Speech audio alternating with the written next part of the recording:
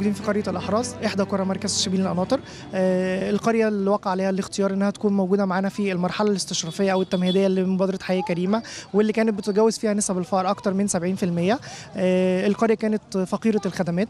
بدأنا نشتغل على آه، مح- محور البنية الخدمية واشتغلنا بتوصيل الصرف الصحي والمية ورفع كفاءة ال- الكهرباء وتوصيل الغاز. بعد كده اشتغلنا على القطاع التعليم واشتغلنا في أكتر من ثلاث مدارس منهم مدرسة إنشاء جديد آه، بأكتر من 24 فصل. بعد كده اشتغلنا على تنمية بقية ميكنه الخدمات وبالفعل بقى موجود عندنا مجمع خدمات. الهدف الرئيسي دايما بتاعه هو آه، فصل مقدم الخدمة عن طالبها وتغيير الصورة الذهنية عن الخدمات اللي كانت بتقدمها الجهات الحكومية آه، قبل كده. المجمع الزراعي والمجمعات الخدمية هي آه، مربوطين دايما بفكرة التوجيه اللي كان بيتم من خلال الجمعية الزراعية بقينا بنقدر من خلال المجمع الزراعي نوزع على الخدمات الخاصة بيه آه، توزيع السمات كمان الإرشاد الزراعي الخاص بالفلاح كل ده من أساس إن أنت يعني تنمية الريف المصري على الوجه الأكبر. وحدة طب الأسرة بالأحراز.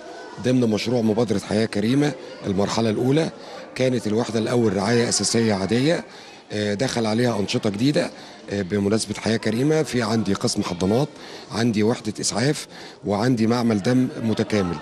آه، دي دخلت المرحلة الأولى والمرحلة الثانية إحنا دلوقتي في مثابة منظومة التأمين الصحي الشامل في مبنى بديل للوحدة بيتعمل خلص منه حوالي 70% مجرد ما هينتهي الإجراءات وينتهي الفرش هننقل فيه عشان يطابق منظومة التأمين الصحي الشامل. الوحدة البيطرية بالأحراز تم رفع كفاءتها ضمن مبادرة حياة كريمة والوحدة البيطرية بالأحراز بتخدم ثلاث قرى وتسع عزب. الوحدة البيطرية بالخدمات اللي بتقدمها العلاج والكشف طبعا وتم تزويده بأحدث الأجهزة زي جهاز السونار لاختبار فحص إيه؟ الحمل.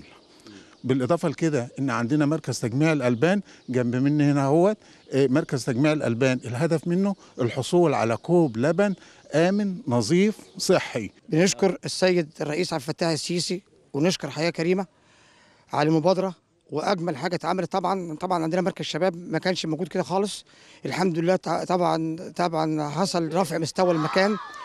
آه، خلى خلى الأولاد أنت شايف حضرتك ده طبعا كان في عزوف للشباب. آه، حياة كريمة خلت في ملعب في حمام سباحة في عندنا تخاطب رفع مستوى المبنى ملعب ثماني آه، طبعا الحاجات دي خلت الشباب جه مجمع الخدم اللي إحنا واقفين فيه دلوقتي في قرية الأحراز بيشمل سبع قطاعات آه،. آه، مركز تكنولوجي وحدة محلية آه، مكتب بريد آه، سجلي مدني آه، شهر عقاري آه، وحدة وحدة اجتماعية مجلس شعبي محلي آه، فهنا المواطن هنا المجمع معمول لتسهيل الأمور على المواطن المواطن يجي هنا نظام الشباك الواحد يجي يقدم الطلب يجي بعد مثلا يوم أو اتنين يلاقي الطلب خلص بجد وفروا لينا الدعم الكافي آه، لأن إحنا نقدر نمارس مش الكاراتيه بس لا نمارس أي رياضة إحنا بنحبها آه، وطبعا هم يعني وفروا لينا كل الدعم وكل حاجة آه، وهيئونا إن إحنا نكون أبطال مش أبطال محافظة ولا أبطال جمهورية لا كمان أبطال عالم.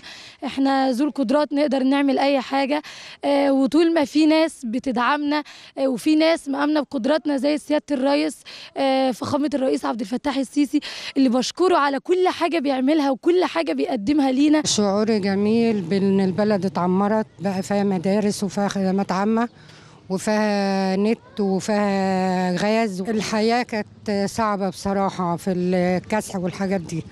إيه دلوقتي دخلنا حاجات كتير ونشكر حياة كريمة بصراحة على المدارس. والخدمات العامة اللي هم قدموها علينا الوضع الأول كنا إحنا آه من من يمة الصرف الصحي كان مش كويس خالص والدنيا متبهدلة.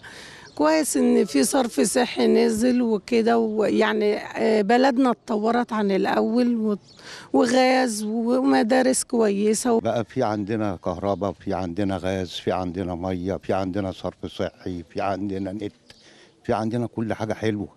في عندنا دلوقتي إمكانيات عالية قوي خش أي وحدة العلاج بتلاقي كل حاجة. في طب بيطري شغاله أهوت 100 100 في مصنع ألبان بيتعمل عندنا أهوت. في جمعية زراعية بتتعمل. في مدارس بتتعمل. في كل حاجة حلوة. أشكر الرئيس واشكر حياة كريمة. ال- اللي سببت لنا في الحاجات الكويسة دي. الناس دلوقتي بقت حاجة تانية خالص. ناس فرحانة ناس مبسوطة ناس ما, ما فيش بعد كده. ما شفناش الكلام ده ابدا. ما شفناش الكلام ده ابدا ابدا ابدا.